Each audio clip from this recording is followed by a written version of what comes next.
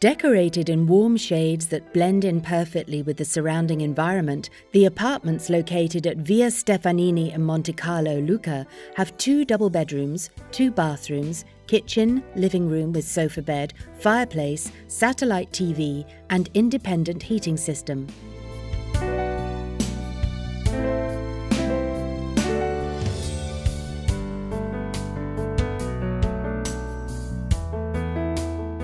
Common to all the apartments is the laundry room with the washing machine, iron, and ironing board. Outside, each apartment has its own barbecue, gazebo, and access to the swimming pool that at night, when illuminated, creates a charming atmosphere where you can spend quiet evenings during your stay. The farm with the apartment bearing the same name is located on the opposite side of Montecarlo, at the foot of the hill, in the municipality of Pescia.